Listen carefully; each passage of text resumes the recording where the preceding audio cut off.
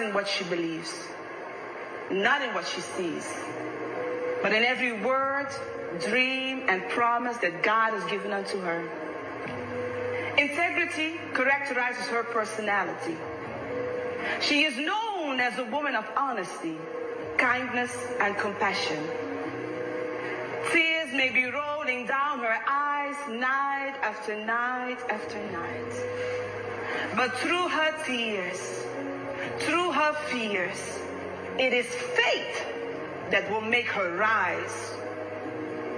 Hopeful, she faces today's trials and tribulations, knowing that there is no faith without a trial.